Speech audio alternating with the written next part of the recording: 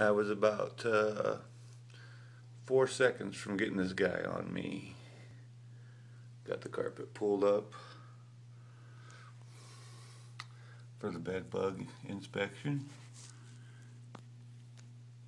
And we've got him right here.